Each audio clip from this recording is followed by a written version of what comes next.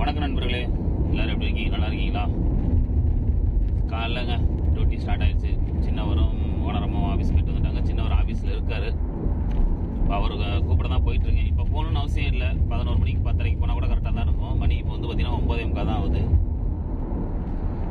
நம்ம பங்காளி வந்துட்டாங்க. ரூமுக்கு வந்துட்டான். சரி காலைல குப்பூஸ் வரும்ல அதை அவன் சாப்பிட்டுக்கிட்டோன்ட்டு நம்ம போய் தோசை சாப்பிடலான்னு சொல்லிட்டு இப்போ போயிட்டு இருக்காங்க பசிக்குது. அதனால் போய் நேராக தோசை கடையில் விட்டு ஆந்திரா கடையில் தான் ஒரு முட்டை தோசை மட்டும் ஒன்று சாப்பிட்டுட்டு அப்புறம் நேராக சின்ன ஒரு ஆஃபீஸில் வந்து உட்காந்துட்டோம்னு வச்சுங்களேன் அப்படியே நெட்டு கிடைக்கும். அப்படியே ஏதாவது பப்ஜி கிப்ஜி விளாண்டுட்டு ஒரு எத்தனை மணி? ஒரு பன்னெண்டு மணி பதினொன்றரைக்கு ஒரு ரூபாப்பில் கொண்டாந்து ரிட்டர்ன் விட்டோம்னா அதுக்கப்புறம் நம்ம வேலையை கொஞ்சம் பார்த்துட்டு அப்புறம் ஓனர் நம்ம ஆஃபீஸ் கூட்டு போயிட்டு வந்ததுக்கப்புறம் வேலை முடிஞ்சது. சாயந்தரம் எப்பொழுது மாதிரி ஆறு மணிக்கு சின்னவரை கூப்பிட்டு போகிறதா நம்ம நமக்கு வேலை.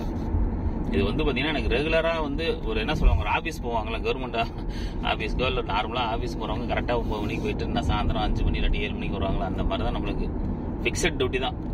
இந்த காலையில் இந்த டியூட்டி சாயந்தரம் அந்த டியூட்டி அவ்வளோதான் அந்த மாதிரி தான் போயிட்டுருக்கு.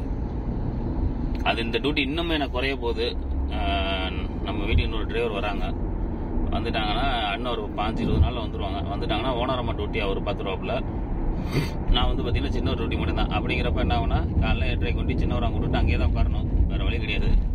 உட்காந்துட்டு மதியானம் பன்னெண்டு மணி பதினோரு மணிக்கு அவரை கூட்டு ரிட்டர்ன் வந்துட்டேன்னா அதுக்கப்புறம் சாயந்தரம் ஆறு மணிக்கு தாங்க டியூட்டி அதே மாதிரி வண்டி ஆ- ஆறு இருக்குங்களா? மூணு மூணாக பிரிஞ்சிடும் வண்டி கழுவுறது நம்மளுக்கு குறைஞ்சிரும். மூணு மூணாக பிரிஞ்சிடும் மற்றபடி இது ரெண்டு வீடுனால அதிகம் அந்த வேலையெல்லாம் இருக்குங்க. அதுங்க சொந்த வீடாக இருக்கும்போது என்ன ஆகுனா எங்கள் ஓனர் பின்னாடி பக்கம் பார்த்தீங்கன்னா திவானிலேருந்து பார்த்தீங்கன்னா ரோட்டு வரைக்கும் ஒரு ஏழ்நூறு மீட்ரு ஃபுல்லாகவே பார்க்கிங் இந்த மாதிரி செடியெல்லாம் வச்சுருப்பாரு அது குப்பை விழுந்துக்கிட்டே இருக்கும். அதை வந்து பார்த்தீங்கன்னா வாரத்தில் ரெண்டு டைம் வச்சு க்ளீன் பண்ணிட்டு இருந்திருப்போம்.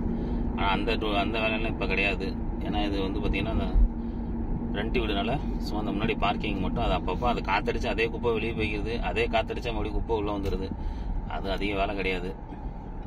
நம்ம வீட்டில் எப்பொழுதுமே திவானி வேலை கிடையாது.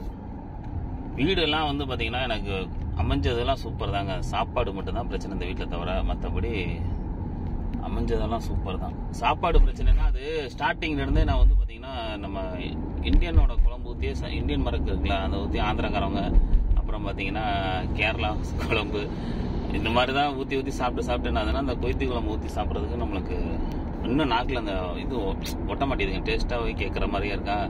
அதனால நம்ம ஏதாவது குழம்பு நான் குழம்பு செஞ்சாவே கேவலமாக தாங்க இருக்குது அது சரி அதுலேயாச்சும் கொஞ்சம் உரப்பாக இருக்குது அப்படின்னு சொல்லிட்டு அதை அப்பப்போ சாப்பிட்ருவோம் அது இன்னமும் அந்த சாப்பாடு அந்த தான் பிரச்சனை தவிர சாப்பாடுலாம் ரெகுலராக வந்துடும் அந்த குழம்பு நம்மளுக்கு செட் ஆகாது இல்லை அதை சொல்ல வரேன் நான். மற்றபடி எல்லாம் போயிட்டு தான் இருக்குது இன்னொரு பிரச்சனை என்னன்னா எனக்கு இல்லை நம்ம ஃப்ரெண்டு ஒருத்தர் பக்கத்தில் அவர் வந்து பார்த்தீங்கன்னா ஊருக்கு போகணுங்க இந்த ஆறாம் மாதம் இருபத்தி ஏழாம் தேதி ஊருக்கு வரேன்னு சொல்லி எல்லாருமே சந்தோஷமாக இருந்தாங்க. இவர் வந்து என்ன பண்ணிட்டாருன்னா ஆனால் இவர் ரிட்டர்ன் வந்து கொய்த்துக்கு வரப்போகிறது கிடையாது.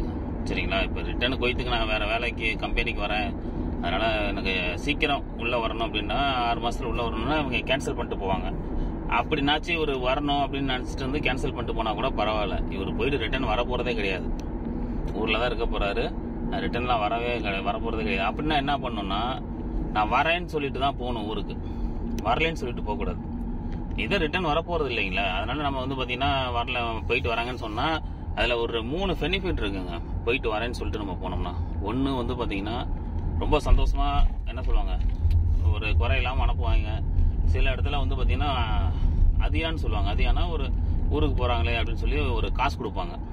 இப்போ ஓனராக இருந்து நல்ல ஓனராக இருந்தானா ஒரு ஐம்பது நூறுரூவா கொடுப்பாரு. ஓனர் ரொம்ப நல்லவங்களா இருந்தால் ஒரு இருபது முப்பதுன்னு கொடுப்பாங்க. அப்புறம் அந்த வீட்டில் இருக்கவங்களாம் அப்படி இப்படின்னு சேர்த்து ஒரு நூற்றம்பதுனா இரநூறுனா நம்ம கைக்கு வந்து சேரும்னு வச்சுக்கிட்டேன் எனக்கு இந்த வீட்டில் அந்த அளவுக்குலாம் சேராது. சொல்கிறேன் பொதுவாக நல்ல வீடாக சொல்கிறேன் ஏன்னா எனக்கு தெரிஞ்ச ஒரு ஸ்ரீலங்கா ஒருத்தர் டிரைவர் இருக்காரு. அவருக்குலாம் வந்து பார்த்தீங்கன்னா மூணு மாதம் லீவுக்கு போனார்னா மூணு மாதம் சம்பளத்தை கொடுத்தே ஆனால் ஊருக்கு அனுப்புவாங்க. அந்த மாதிரி வீடெல்லாம் இருக்குங்க. இல்லை எல்லாம் இல்லை குய்த்தில் அந்த மாதிரி வீடெல்லாம் இருக்குது இப்போ என் வீட்டில் வந்து இந்த பிரச்சனைலாம் கிடையாது. ஆனால் அந்த இடையில அப்பப்போ ஒரு தினம் ரெண்டு தினம் நமக்கு காசு கிடைக்கும். அந்த அதெல்லாம் குறைய சொல்ல முடியாது. இந்த ஊருக்கு போகும்போது பார்த்தீங்கன்னா பெரிய அமௌண்ட்லாம் கிடைக்காது. மிஞ்சி மிஞ்சி போனால் எங்கள் ஊரில் நான் ஊருக்கு போகிறேன்னு சொன்னேன்னா எங்கள் ஓனர் ஒரு ஐம்பது கொடுப்பாரு.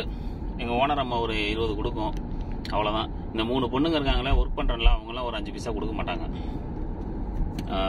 மற்றபடி ஓனரோட அம்மா தாய்க்கிழவி இருக்குல்ல அது ஒரு இருபது கொடுக்குங்க கன்ஃபார்மாக ஒரு எழுபது எண்பது நூறு நூறு தொடர்னு வைங்களேன் அந்த ரேஞ்சுக்கு தான் வரும் என் வீட்டில் சரி, அந்த நூறுனா ஏன் சும்மா விடணுங்க நம்ம ஊர் காசு இருபத்தஞ்சாயிரரூவா வருதுங்க.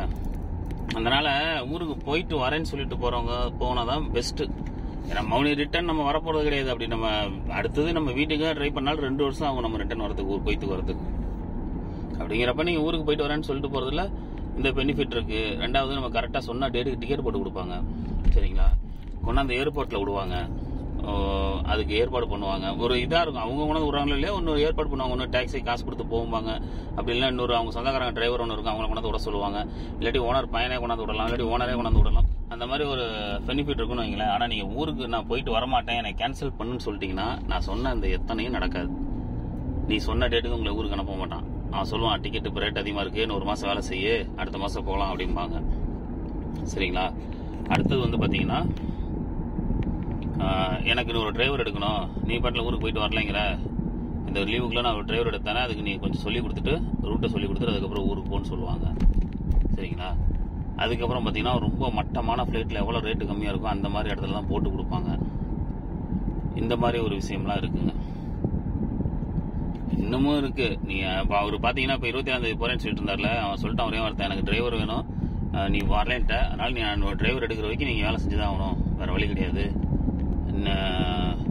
நான் எப்படி இருந்தாலும் விசா கொடுத்து அவர் இன்னொரு டிரைவர் உள்ள வரத்துக்குள்ள பார்த்தீங்கன்னா மூணு மாசம் ஆயிரும். இன்னும் மூணு மாசம் அவர் ஊருக்கு போக முடியாது. அவர் ஜாமான்லாம் வாங்கி பேக் பண்ணி வச்சிருந்தாரு. இப்போதான் நேற்று நைட்டு தான் உட்காந்து ஃபீல் பண்ணி புலம்பிட்டு இருந்தாரு. அவர் புலம்பிட்டு இருக்காரு. நம்ம கரெக்டாக நம்ம ஸ்ரீலங்காரன் வந்தாரு. வந்துட்டு சைஸு நான் வர வேலைக்கெல்லாம் ஊருக்கு போகிறேன் அப்படின்னு சொல்லிட்டு அவர் சந்தோஷமாக சொல்லிட்டு நம்ம ஆள் ஊருக்கு போகிறாருங்க நம்ம அண்ணன் ஸ்ரீலங்காரண்ணன் வந்து பார்த்தீங்கன்னா வர வியாழக்கிழமை ஊருக்கு போகிறாரு அப்படின்னு சொல்லிட்டு அவர் சந்தோஷமா தான் இவர் ப- சரி சரிண்ணே அப்படின்னு சொல்லி கொஞ்சம் பேச்சு அடக்க பார்த்தேன். ஏன்னா இவரு வந்து பாவம் சந்தோஷமா ஏன் அது ஊருக்கு போகிறது எவ்வளோ ஒரு சந்தோஷம் இருக்கும் தெரியுங்களா? அந்த இது ஃபாயில் ஆயிடுச்சுன்னு சொல்லி ரொம்ப ஃபீல் பண்ணிட்டு இருந்தாரு. நான் போய் பிள்ளைங்களாம் பார்க்கணுட்டு இருந்தேன். பிள்ளைங்களுக்குலாம் இருபத்தி ஏழாம் தேதி வரேன்னு சொன்னா அப்பா இருபத்தி ஏழாம் தேதி வருதுன்னு சொல்லி பிள்ளைங்களாம் சந்தோஷமா இருந்தது. கடைசியில் எங்கள் ஓனர் நேற்று இப்படி சொல்லிட்டாரு. நான் டிக்கெட் போட்டியான்னு கேட்டதுக்கு திவானில் கூப்பிட்டு இப்படி பேசுறாரு. நீ தான் போயிட்டு வரலன்னு சொல்லிட்டில்ல. அதனால இன்னொரு டிரைவர் நான் எடுக்கிறேன். எடுத்து அதுக்கு நீ எல்லாம் சொல்லி ரூட்டை சொல்லி கொடுத்துட்டு அதுக்கப்புறம் போ. அப்படின்னு சொல்லி சொல்லிட்டாங்க. நான் இப்போ நான் அதுதான் டிரைவர் தொலைவிட்டு இருக்கேன். நான் விசா கொடுத்துட்டு டிரைவர் வந்தால் தான் அவனை அனுப்ப முடியும். அப்படின்னு சொல்லிட்டாங்கன்னு சொல்லி புலம்பிட்டு இருந்தாருங்க. ரொம்ப கஷ்டமாக இருக்குது ஓகே நண்பர்களே இதுதான் வந்து பார்த்தீங்கன்னா ஊருக்கு போயிட்டு வரேன்னு சொல்கிறதுக்கு வித்தியாசமும் ஊருக்கு போயிட்டு வரலன்னு சொன்னால் நடக்கிற வித்தியாசம் இதாங்க இருக்குது ஓகே தோசை கடைக்கு வந்தாச்சு. உங்களுக்கு வீடியோ பிடிச்சிருந்தா மறக்காம லைக் பண்ணுங்கள் சப்ஸ்கிரைப் பண்ணுங்கள் மற்றும் இன்னொரு வீடியோவில் சந்திப்போம். பாய் நண்பர்களே.